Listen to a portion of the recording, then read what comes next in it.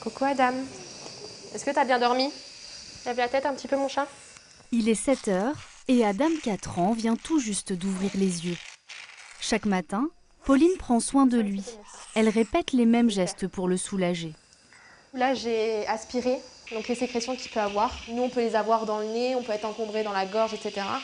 Mais lui du coup elle se retrouve euh, ici. Du coup c'est pour le dégager de ces mauvaises sécrétions qu'il a pu avoir dans la nuit. Voilà. On va la prendre la douche? Oui? Allez. C'est Emmanuel, l'auxiliaire de puériculture, qui prend le relais pour la toilette. Tout en douceur, elle va nettoyer le corps fragile d'Adam.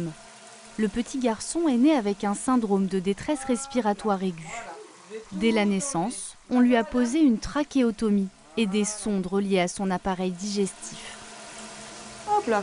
Allez, on s'assoit. Regarde. Elle est bonne. Bah oui. C'est un moment qui n'est pas dans les soins, donc du coup, c'est vrai que c'est agréable pour l'enfant. Euh, C'est pas, on va dire, un soin euh, dérangeant.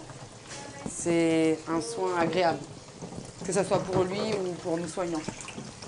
Et c'est tout propre, hein, Adam? Oui. On peut sortir? Oui? Tout seul, allez, vas-y. Je te tiens. Oui, oui, vas-y. Oh, pouf Ah bah dis donc, tu m'as arrosé les pieds, hein. Allez, monte. À cause de sa trachéotomie, Adam n'a jamais pu manger normalement. Hop là. On s'allonge Il est nourri grâce à ces deux sondes. Elles le maintiennent en vie. Et voilà. Et voilà, c'est fini. Je te la remets un petit peu parce qu'elle est partie, d'accord? C'est combien le repère? 16. Il le sait. C'est 16. Hein, tu le sais. Tu me dis si je te fais mal. D'accord? Il était Un un petit homme Pirouette, cacahuète. Il était un petit homme qui avait une drôle de maison, qui avait une drôle de maison. Cette drôle de maison, c'est l'hôpital de Margency. Ici, comme Adam, une centaine d'enfants sont soignés pour des pathologies respiratoires et digestives ou des cancers. Quand leurs soins sont trop lourds pour rentrer chez eux, ils y passent des mois ou des années. L'hôpital devient alors l'endroit où ils grandissent, souvent loin de leur famille. Grandir à l'hôpital, c'est toute l'histoire d'Adam. Il vit ici depuis trois ans. Il connaît ses soins par cœur. Ce matin, Pauline et Emmanuel doivent changer la canule de sa trachéotomie. On regarde là-haut Allez, Tout là-haut, tout là-haut, tout là-haut. Eh, regarde, il y a quoi là-haut? On compte tes mains. Un, deux, trois, soleil Mets pas les mains, chérie. Voilà, allez Lève Adam, c'est fini. Voilà, c'est très bien. T'as été courageux, Adam. C'est très bien. Oh oui, Ouais. t'es courageux, je suis d'accord. Toutes les semaines, de toute façon, c'est très bien. Il y en a, ils se bloquent. Il y en a carrément qui se passent, mais qui se mettent, qui mettent leur tête comme ça. Donc du coup, on peut pas la rentrer. Donc des fois, il faut un petit peu insister parce que l'enfant peut pas rester euh, longtemps sans la canule. Même s'il y en a qui le tolèrent, c'est un soin où on doit être assez rapide. Ces moments douloureux, les enfants doivent souvent les affronter seuls, sans leurs parents pour leur tenir la main. Alors Emmanuel, comme les autres soignants, est là pour les rassurer. Nous, notre rôle, c'est vraiment de les, accompagner dans tout ce qui est les, soins, euh, dans leur vie quotidienne. Euh, on apprend beaucoup à l'école, hein, euh, pas de surnom, pas trop de câlins, pas trop s'attacher. Ici, c'est complètement différent. C'est des enfants qui vivent ici. Euh, on est obligé de s'attacher. On a des chouchous, euh, on leur fait des câlins, on leur fait des bisous. euh. Pour qu'un enfant ait un bon développement, il a besoin d'attention, il a besoin d'être coucouning. euh, non. Tu vas t'asseoir? Allez, prends une chaise. Malgré sa maladie, Adam doit apprendre à s'alimenter. Ouais, bah, chercher. Comme ses petits camarades, il mangera un jour normalement. Tiens ton eau gélifiée, Adam. Voilà. Allez, tu prends tout seul? C'est bien. C'est de l'eau, mais qui est un peu gélifiée. C'est pas un aliment, ça a pas vraiment de goût.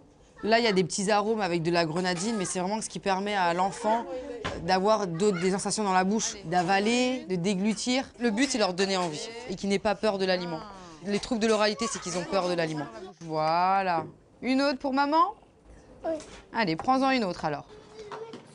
Aliments solides ou nourriture liquide, tout est préparé sur place. Chaque repas est fait sur mesure dans les cuisines de l'hôpital. Nous, on pèse tout.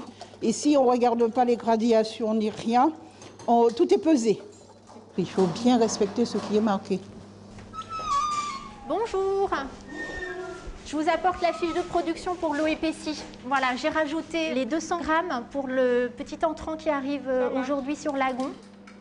Dans chaque préparation, la dose exacte de vitamines et de minéraux dont l'enfant a besoin en fonction de son âge et de sa maladie.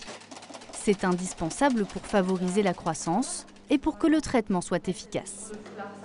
Une perte de poids entraîne une fonte musculaire, donc une fatigabilité, donc une perte d'autonomie.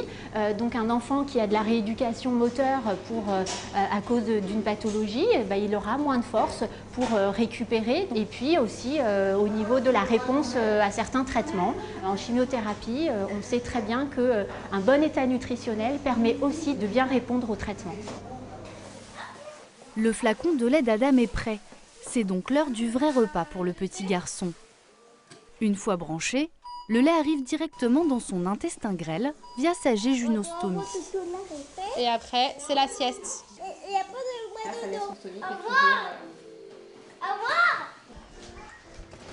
Dans un autre service, les infirmiers s'apprêtent aussi à donner son repas à Dania.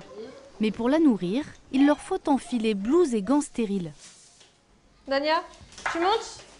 Contrairement à Adam, Dania, elle, est nourrie directement par les veines. C'est ce qu'on appelle une nutrition parentérale. Dania ne peut pas manger en fait, ou qu'en très petite quantité. Et du coup, nous, on va l'aider avec la nutrition parentérale pour avoir tous les apports et qu'elle grandisse du mieux possible. On a la chance, Dania, elle dort, donc du coup, je peux prendre mon temps.